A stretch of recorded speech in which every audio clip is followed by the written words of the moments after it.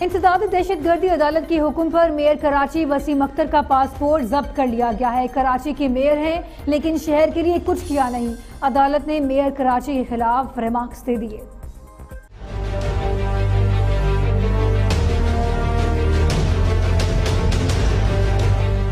کراچی میں انسداد دہشت گردی عدالت نے میئر کراچی وسیم اختر کا پاسپورٹ ضبط کر لیا۔ ڈاکٹر عاصم کے خلاف دہشت گردوں کو علاج کی سہولیات فراہم کرنے سے متعلق کیس کی سماعت کے موقع پر عدالت نے میئر کراچی وسیم اختر پر برہمی کا اظہار کیا اور انہیں پاسپورٹ جمع کروانے کا حکم دیا۔